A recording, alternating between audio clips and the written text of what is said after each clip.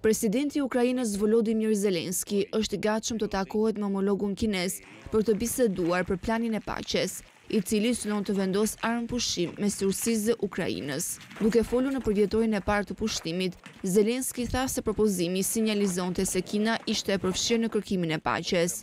Unë me të vërtetë dua të besoj se Kina nuk do të furnizojë me armë Rusinë, u shpreh presidenti i Ukrainës.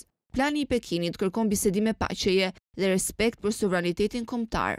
Kina pretendon se ka një qëndrim neutral për luftën, por gjithashtu ka refuzuar të kritikojë pushtimin e Ukrainës.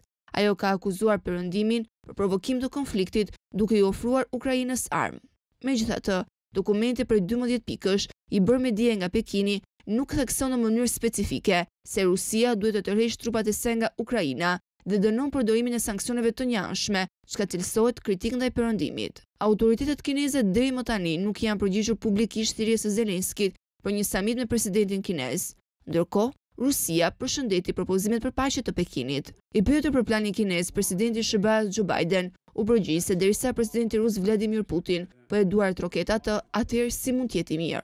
Edhe shefi i NATO-s nuk u shfaq shumë optimist për planin kinez. Propozimet e Pekinit për paqe pasojnë një vizitë të kryediplomatit kinez në Moskë, ku ai u takua me presidentin Putin dhe homologun Sergei Lavrov.